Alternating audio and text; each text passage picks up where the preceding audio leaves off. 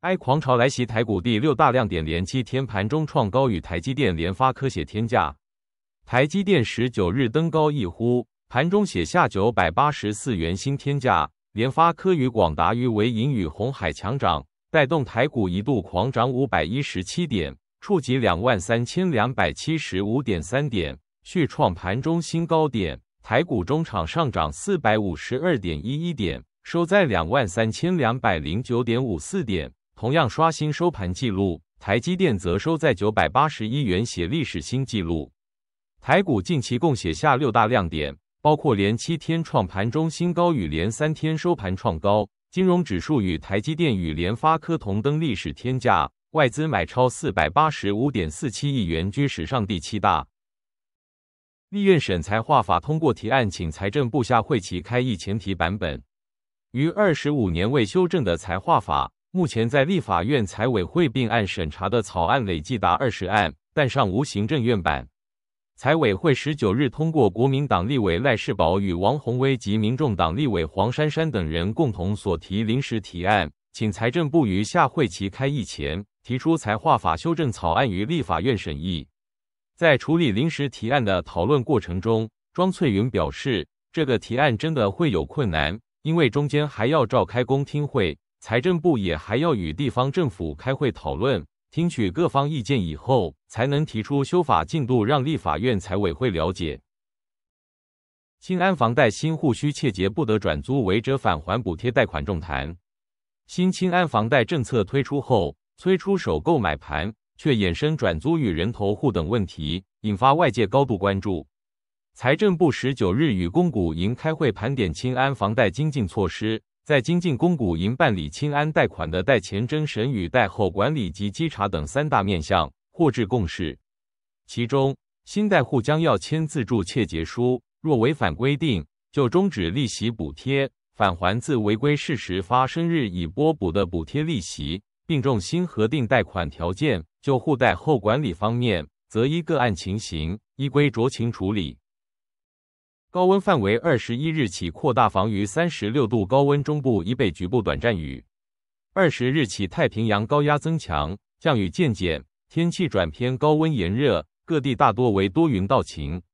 各地高温约在三十二至三十五度。彰化与云林与台南与高雄与屏东与花莲与台东仍有局部三十六度以上发生的机会。气象署表示，二十一日夏至至二十三日受太平洋高压影响。各地高温范围扩大，西半部近山区与花东纵谷都可能出现三十六度以上气温。健保总额首破九千亿，估明年不涨保费可能性高。卫福部预估二零二五年健保总额首次超过九千亿元，但保费调涨可能性低。在十九日的会议中，全民健康保险会表示。卫福部提出的一一四年健保总额成长率高推估五点五 percent 与低推估三点五二一 percent，总额介于九一一两亿至九千两百八十六亿元。以高推估计算一一四年总额预算，预估安全准备金会剩一点一个月，尚未低于一个月，未达调涨保费规定，一一四年保费不涨的可能性高。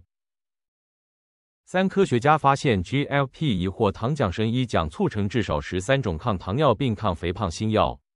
糖奖十九日公布第六届生技医药奖得主，由发现 GLP 一七到三十七为促胰岛素因子的三名科学家获得。他们的研究也促成新一代的抗糖尿病与抗肥胖药物，加惠全球十五亿糖尿病与肥胖患者。对于三人贡献，国家卫生研究院院长司徒惠康表示。胰岛素的生成和作用是糖尿病和肥胖的根源。GLP 以及其衍生药物不仅从非常根本的地方调控胰岛素，且能透过中枢神经系统抑制食欲，且对肾脏等细胞有保护效果。这在过去数十年无法以单一药物达成的，是非常大的发现。美对台军售弹簧刀等两款攻击无人机共一百一十六亿元，国防部说建构战术新选项。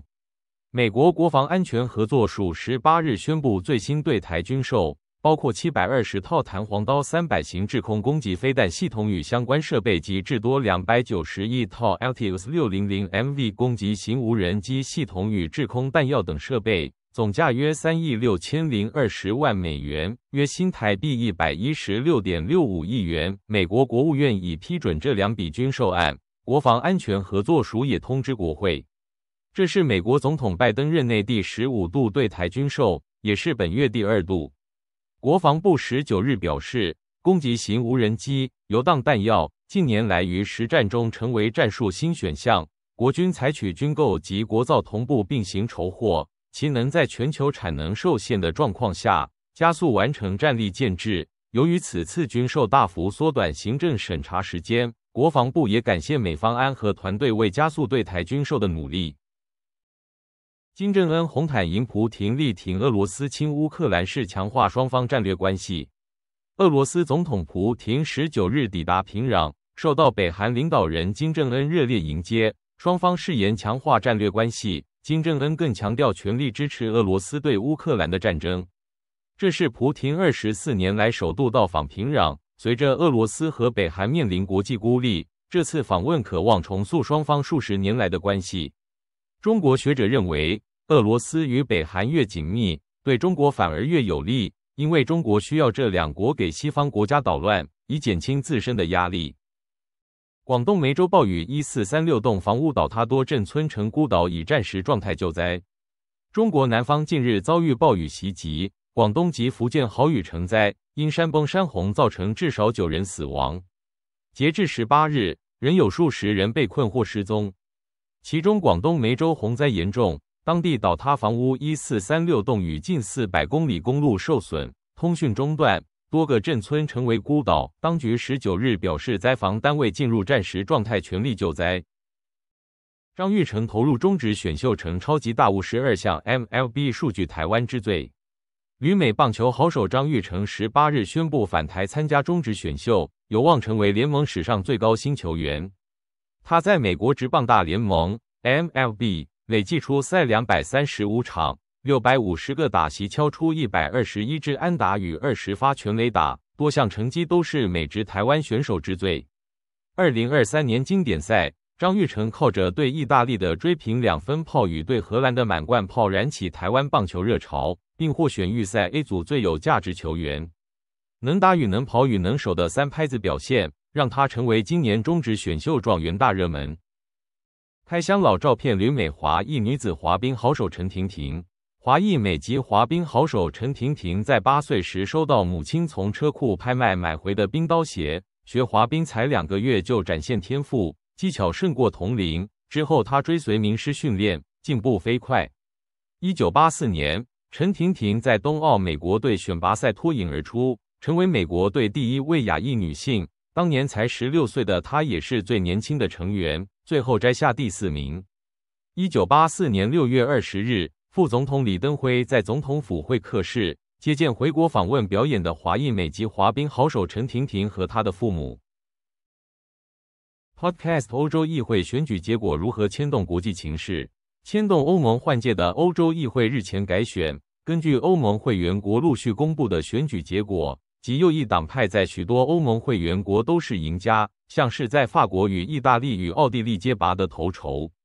法国总统马克宏则堪称这届欧洲议会选举的最大输家，他领导的自由派政党大败国民联盟，只能宣布解散国会与提前改选。这次的欧洲选举结果将会对中国与移民与绿能等议题的政策有什么样的转变？本集节目邀请布鲁塞尔特派员田习如分析欧洲议会选举所带来的影响。收听 Podcast。以上是今天的重点新闻摘要，每日六分钟，掌握天下事。中央社早安世界，明天再见。